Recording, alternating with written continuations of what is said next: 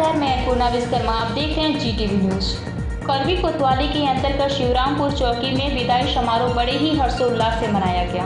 करवी कोतवाली के अंतर्गत शिवरामपुर चौकी में विदाई समारोह बड़े ही हर्षोल्लास से मनाया गया, जिसमें उप निरीक्षक डी डी कश्यप उप निरीक्षक गणेश गुप्ता, दीवान राजा राम, दीवान शिव कुमार, कांस्टेबल लोकनाथ यादव, महिला कांस्टेबल रीचा सुमन बीना और समस्त पुलिस बल द्वारा तथा वरिष्ठ समाज सेवी जयप्रकाश निगम जी घनश्याम पटेल मंडल उपाध्यक्ष द्वारा चौकी प्रभारी राजेश कुमार मिश्रा का विदाई समारोह बहुत ही धूमधाम से माल्यार्पण करके मनाया गया। पेश चित्रकूट से राधा बिहारी पाठक की एक खास रिपोर्ट।